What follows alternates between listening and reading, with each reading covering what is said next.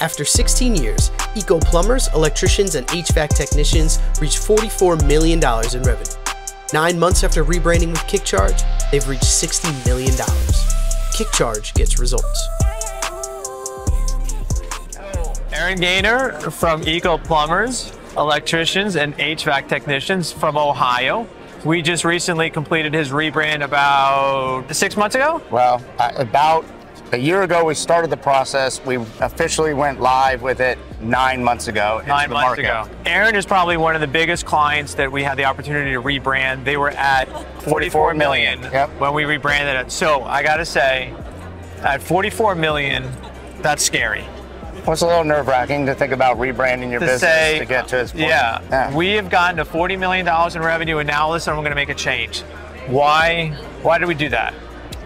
Well, one is the you know the movement of moving from our multiple service lines. So right. right we're plumbing based only business. We started doing HVAC, then we were like we're going to start doing electrical. So we wanted to rebrand because of the three trade lines. We also felt like it was just time to refresh the brand. Think just bringing some excitement to the to the company, the culture, and and because of you, because you and I chat too, right? Yeah, so I will say yeah. that you and I chat and talking about it and. So yours is one of those brands that I saw, and I thought it was incredible what you had built with what you had. So you're into it now, almost six months or so, roughly. Like, what's been the feedback from the customers? What's been the feedback from the employees? How's that all been working out? Um, lots of people have said lots of positive stuff about it. I haven't heard anything negative from the marketplace. Customers. I can see your trucks everywhere. They stand out more. We love the colors. For people, it was a, like a shock because it was like so different, so different yeah. than what we had before. Right. Uh, so it took a little bit of time for some of the people I've been with for I settle in, but I think they were all. I don't think I know they were all excited about the new look, the refreshing. Um, and the next evolution of our company is, I think, really what we were going for here. And then the process was great too, right? One of the things that we talk about when you're ever considering rebranding is how much equity do we have in the color scheme? The process blue and the apple green were, were consistently used by you guys. And that was something that we felt we wanted to just carry into the new brand.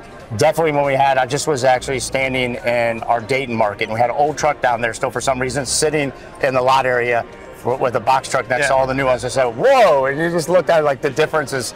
You, you kind of forget as they've been rewrapped even in nine months, but we still have a few old ones. Like I was like, get that done. Our billboards stand out brighter, stronger. Mm-hmm. Our literature has more vibrant like colors to it and it captures people.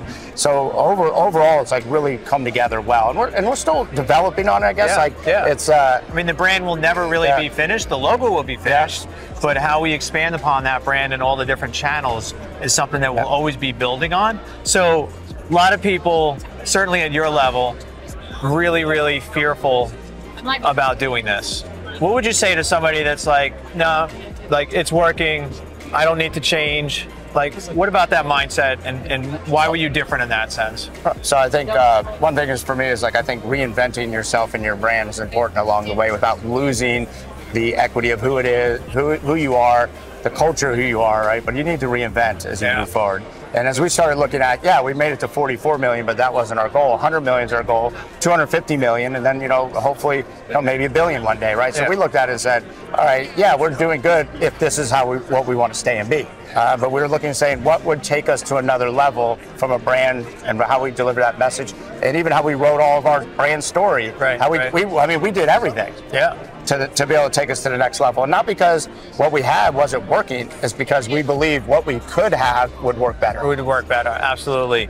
And 44 when we started, and I think last time we checked is like around 60 million. Yeah, we're revenue. pacing out to about 60 million. 60 yep. million, and that's like nine months, six months, roughly, whatever, yeah. since we started. That's crazy. That's amazing. Working with me and the team, how was that experience? It's been great, man. Good? I'm, I'm not, yeah, not bullshit. It's been good. Team's always been responsive, helped us through. We had, you guys know we had a lot of trucks and a lot of different models oh, yeah, of trucks right. to change oh because of yeah. uh, because of COVID. We had to buy any truck we could get our hands yeah. on. So we had tons of different trucks, different models. Uh, your team always came through, made sure all the wraps were good, everything was good. We were back and forth a decent amount. The guys always stayed on it. Um, we enjoyed it. It was good, good experience, and especially the back and forth on the portal messages with you guys, and you always came through, man. Especially even you checking in with me on. Yeah, absolutely. So, appreciate it, man. All right, brother. Thanks, pal. I appreciate it, man.